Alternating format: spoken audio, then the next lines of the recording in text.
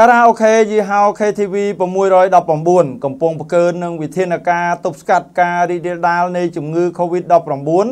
របស់ក្រសួងសុខាភិបាលកម្ពុជាព័ត៌មាននេះឧបត្ថម្ភដោយ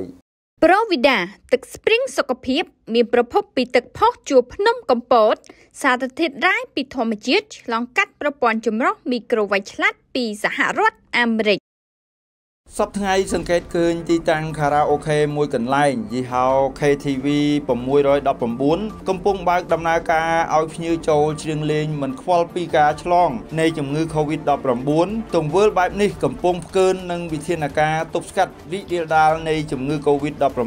របស់ក្រសួងសុខាភិបាលកម្ពុជា យើងដឹងហើយថា ផលប៉ះពាល់ពីជំងឺ Covid-19 ក្នុងនោះគេអង្កេតឃើញថារាជរដ្ឋាភិបាលកម្ពុជានិងស្ថាប័នពាក់ព័ន្ធនានាព្រមទាំងអាជ្ញាធរមានសមត្ថកិច្ចគ្រប់រាជធានីខេត្តលោកបានខិតខំទាំងយប់ទាំងថ្ងៃក្នុងការទប់ស្កាត់រីករាលដាលនៃជំងឺ Covid-19 ដោយក្នុងនោះថ្នាក់ដឹកនាំព្រមទាំងក្រសួងសុខាភិបាលកម្ពុជាក៏បានអំពាវនាវដល់ពលរដ្ឋខ្មែរទាំងអស់ត្រូវពាក់ម៉ាស់និងលាងដៃជាមួយនឹងទឹកអាល់កុលឬជែលសាប៊ូរក្សាកម្លៀត និងកាត់បន្ថយការប្រមូលផ្ដុំគ្នា ហើយអាជ្ញាធរមានសមត្ថកិច្ចដែលពាក់ព័ន្ធតាមបណ្ដារាជធានីខេត្តបានបិទតាមក្លឹបកំសាន្តហាងផឹកស៊ីនិងភោជនីយដ្ឋាន កាស៊ីណូមួយចំនួនលក្ខនឹងលក្ខជាបណ្ដោះអាសន្នដើម្បីកាត់បន្ថយនៃការរីករាលដាលនៃជំងឺដ៏កាចសាហាវមួយនេះ